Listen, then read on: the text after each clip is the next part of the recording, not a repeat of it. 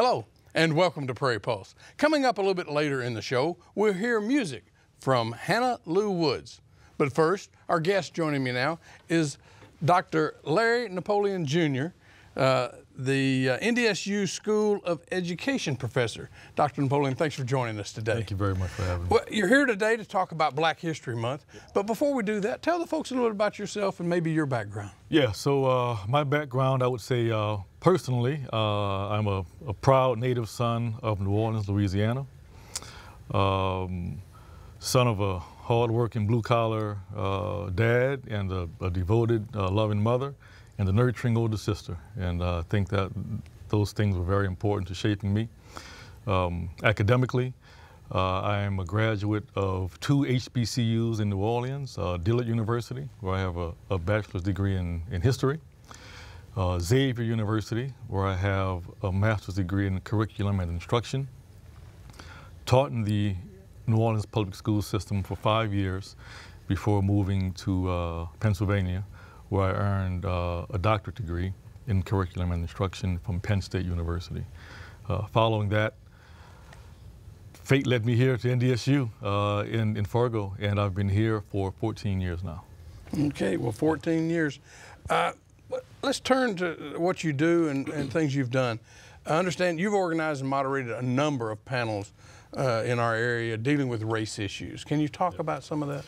Yeah, so I've, I think um, I, I, would say I've organized a few. I've been a part of many, right? So um, whether that be through campus, uh, lots of different uh, initiatives uh, that that focus on um, on Black history or or racism, things of that nature. Uh, and then I've had the the esteemed honor of speaking um, at uh, Juneteenth events for the past couple years. Uh, I've spoken um, at the uh, Fargo Film Festival, um, and it's, it's, just been a, a, wonderful opportunity to, to be here and to offer uh, my insight and talent uh, as it regards to uh, an issue that um, is definitely one that's, that's plagued us uh, in, in our, our society, historically and in a contemporary sense. Yeah, absolutely.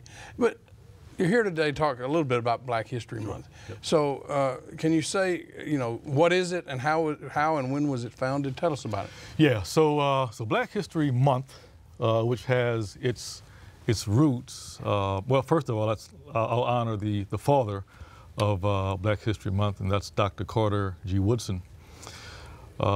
So, Dr. Woodson um, was an author, a journalist, but most notably and perhaps most importantly, he was a historian. Uh, he was uh, completely dedicated to researching, promoting, uh, and, and disseminating information regarding the achievements and contributions of African Americans, right? 1915, uh, Dr. Carter uh, co-founded an organization that really poured resources into that, that effort, conducting research uh, on all the contributions and achievements of African Americans. Um, I believe about 11 years later, it was 1926, was the first, what was called then, Negro History Week. And um, he chose the second week of February because that week aligned with the birthdays of Abraham Lincoln and the, the great Frederick Douglass. Uh, Abraham Lincoln's birthday is February 12th. Frederick Douglass's birthday is February 14th, or his adopted birthday. He didn't know his, his exact uh, birthday, uh, but he adopted February 14th because his mother called him her little Valentine. So because of that, in honoring uh, those people, the second week of February was, was chosen for Negro History Week. That went on um, until gosh, about uh, five decades roughly. And in 1970, um, in an initiative to expand Negro History Week to Black History Month was, um, was pushed forth. And about six years later was the first time Black History Month was acknowledged by a sitting president. And um, so it's been since 76 that, um, that we have a formally recognized Black History Month in the United States. All right, so yeah. Uh, is there a theme this year? I understand there seems to be a theme every year. Yes, there's a theme every year. Uh, this year's theme is Black Resistance.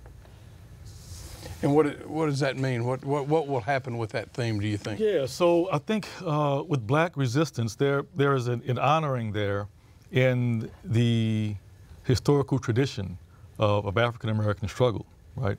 Um, since 1619, right, when um, slaves began to arrive on the, the, the shore, Africans uh, began to arrive on the shores of the United States, um, and even actually before then, right, even uh, boarding those vessels over here, um, there was always resistance, right? There's been resistance at every level of, um, of, of, life and, and every decade, every, every iteration of, of the black struggle here uh, in the United States.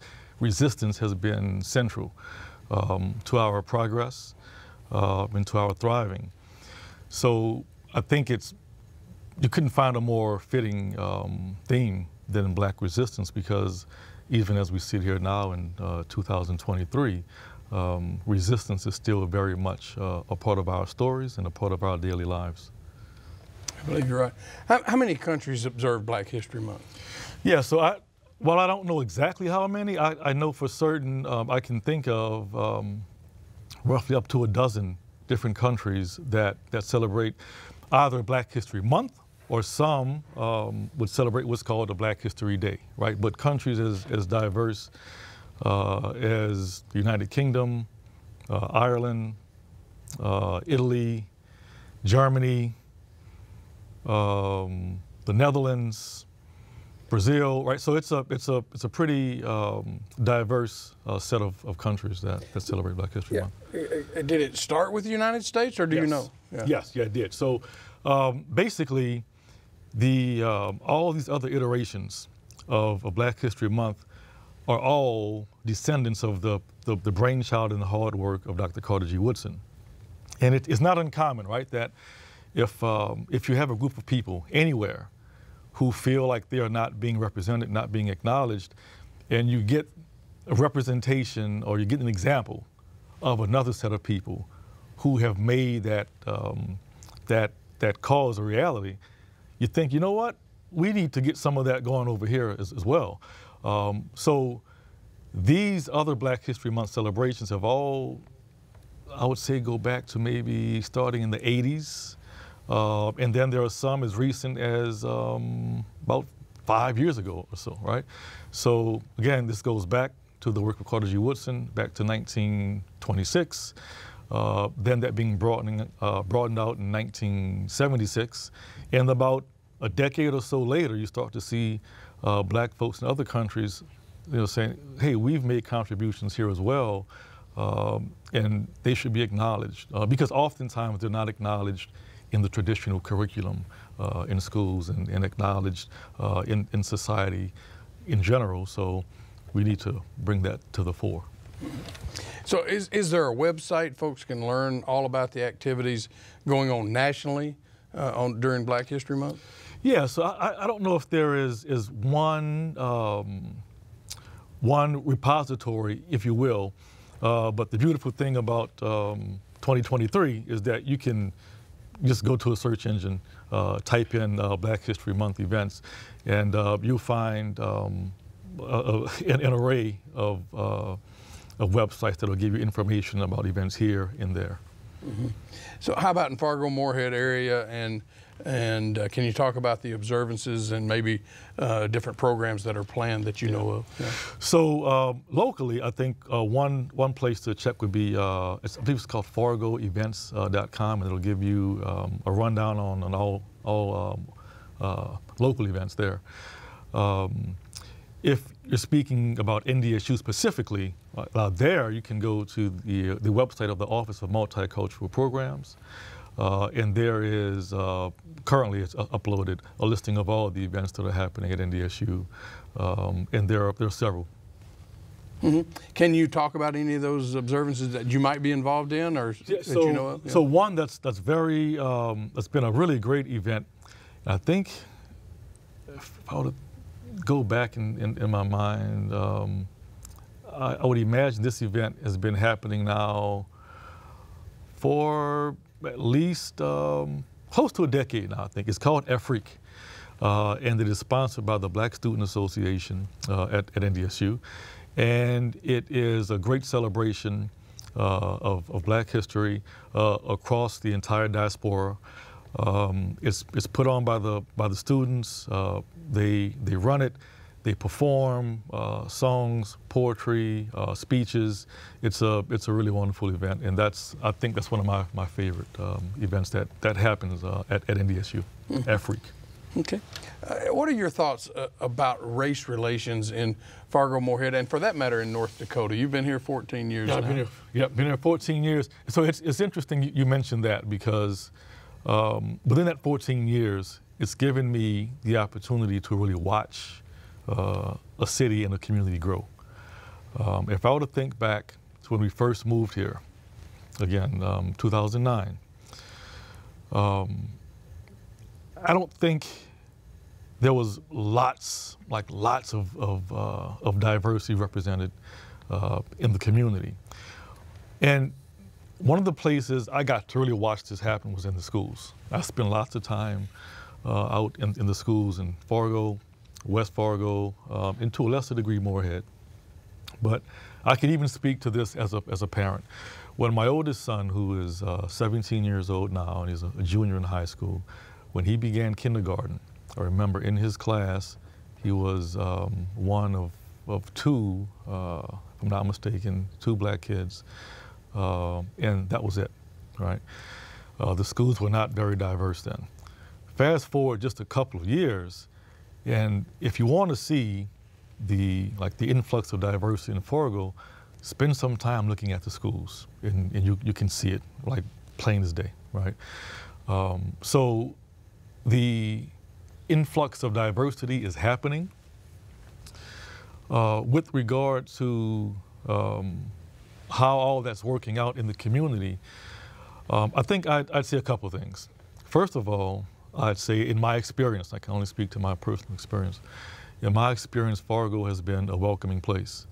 Um, but to determine how truly um, inclusive the community will be, I think there's a to be determined there. And what I, what I, what I mean by that is we now have, through these kids who have moved here with parents and they're flooding the, the school systems, in about a decade or so, these kids are now going to be adults, right? How welcome are they going to be in the in the workplace, right? Um, is there going to be um, a diverse representation uh, of individuals in in Fargo's community across the workforce, right? And and that would be for me um, a great telltale sign about um, just how um, quote unquote race relations have, have developed in, in Fargo. Mm-hmm. I understand you've talked uh, a, a, lot about maybe affirmative action in the past, yep. and uh, so the Supreme Court might be taking a look at that. Can can you talk about you know what is affirmative action and why was it first implemented? Yeah. So give a little bit of background on it. Yep. So uh, affirmative action um, has its roots in in federal uh, policy. Um, in, in fact, the, the first time the the term uh, affirmative action uh, was used, I believe would be 1961 uh, in an executive order from John F. Kennedy, where he spoke about using affirmative action in making sure uh, hiring practices were non-discriminatory um, and that people would not be uh, boxed out of opportunities based upon the language I believe was race, creed, color, or national origin. All right. Um, fast forward a couple years, I believe 1965, and uh, Lyndon B. Johnson initiated another executive order, and I believe religion and and sex was was added, and then gender uh, followed soon thereafter in about 1968. So those are the the the roots um, of, of affirmative action, and the idea again was was simply to uh, to try to ensure that hiring practices were non-discriminatory in, in our society. What would be the consequences if the Supreme Court overturned the premise of affirmative action? Yeah, that's a that's an interesting question. Um, and I think, sadly, uh, one of the um, impacts may be a, a, less with with regard to what they're looking at. Right, and they're looking at uh, at affirmative action as a consideration for higher education ad admission specifically. And I think one of the uh, potential uh, impacts could be a less diverse um, school population uh, in, in higher education, which, which would be unfortunate. Mm -hmm. Yeah, this is a, maybe a tough question here. What do you, what do you think's been learned since the George George Floyd's death in 2020, and you look at what's going on in Memphis right now, yeah. and in terms of how, you know, things are changing in the United States?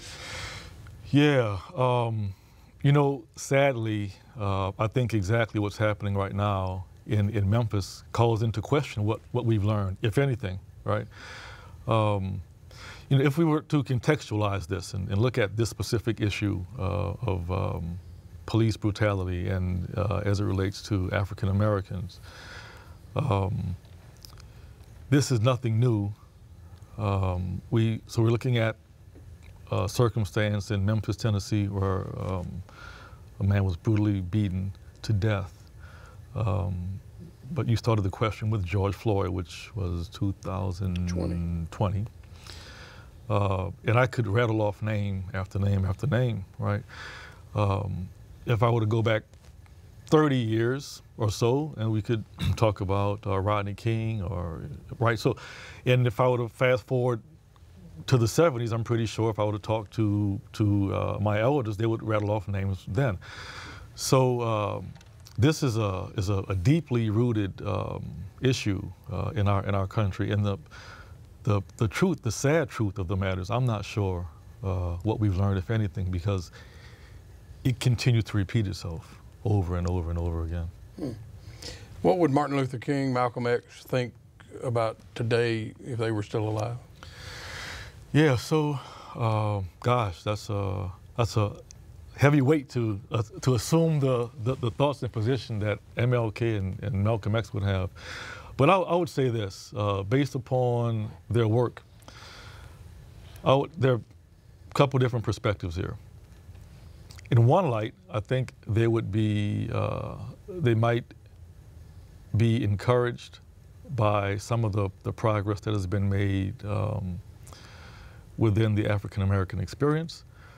But I would also say that largely they would be disappointed and, and I'm sure frustrated by the fact that some of the issues, many of the issues, quite frankly, that they were dealing with in 1950, 1960, 19, well, they were both killed before 1970, but the, the issues that, that, they, that they died still wrestling with we're still dealing with those things now. So, um, but I, I think they will be encouraged by the resilience that that uh, that African Americans and, and, and, and, other uh, Americans of, of, good faith uh, are showing.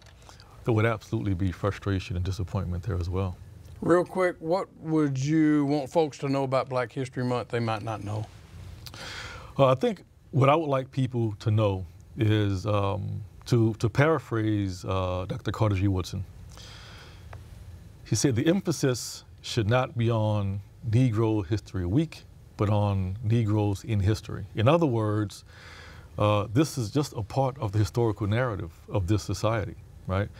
And um, while we have this, this moment to, to highlight those contributions, uh, there should really be a push and an emphasis to, uh, to be inclusive of the contributions and achievements of African Americans in the larger American historical narrative. So if people want more information, maybe you've already suggested, what's the be- where's the best place to go? Yeah, the, so in 2023, the best place to go is pull out your phone, get on that laptop, uh, and you can we can easily do research, all of us, uh, from anywhere at any time, and that's the, the beauty of, uh, of 2023. Yeah. All right. Well, thanks for joining us today. Thank you very much for having me. Stay tuned for more.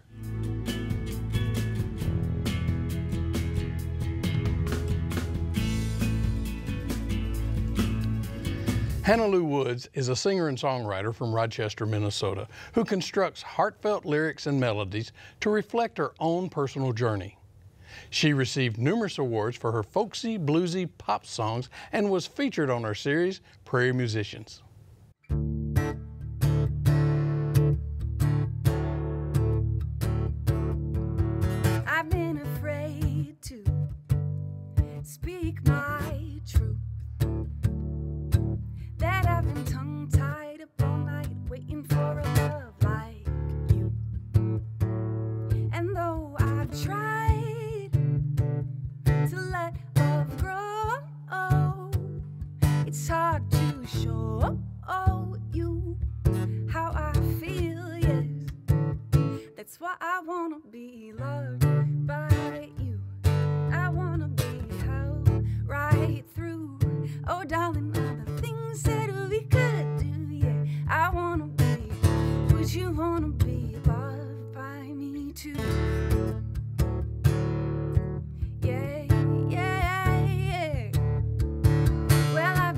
try.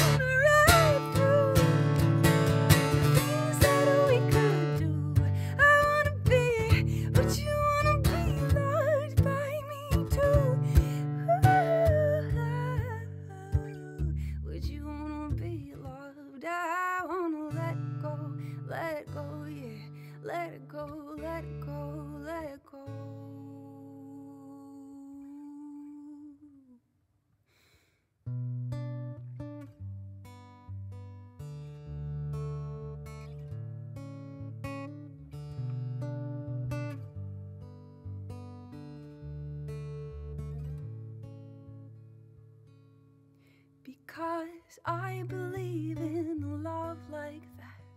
I believe in a love that lasts beyond the confines of time and space. I believe I have known your face, so how can a heart forget her past? I believe in a love that lasts beyond the confines of time and space. I believe in a resting place. Whoa. Breathe in, Lord. Let your heart beat, beat.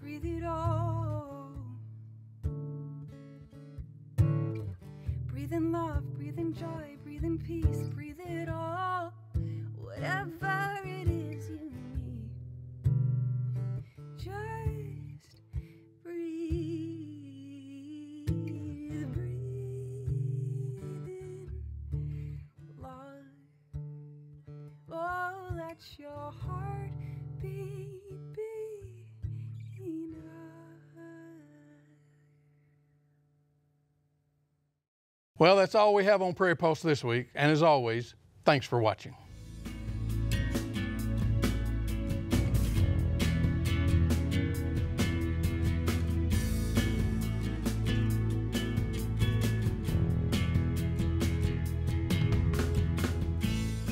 Funded by the Minnesota Arts and Cultural Heritage Fund with money from the vote of the people of Minnesota on November 4, 2008.